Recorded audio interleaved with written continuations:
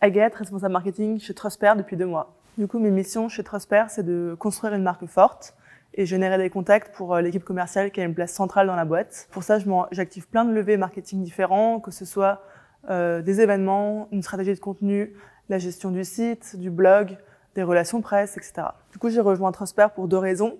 La première, c'est qu'il y a une culture d'entreprise qui est vraiment très forte, qui laisse beaucoup de place à la transparence, à la responsabilité.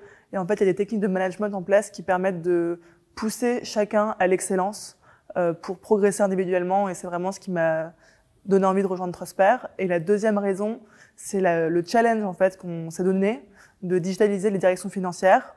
Aujourd'hui, c'est des métiers qui sont assez traditionnels et pénibles et il y a un potentiel qui est juste gigantesque et du coup, c'est très intéressant. On a levé des fonds récemment et on cherche à doubler les effectifs chez Trusper. Et pour ça, on veut aussi que ça passe par l'équipe marketing et commerciale.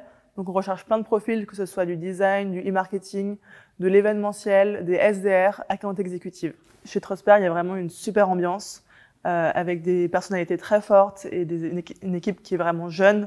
Euh, je crois que la personne la plus âgée a 33 ans, la moyenne d'âge c'est 28 ans et tout le monde est très motivé et on avance tous ensemble et c'est top.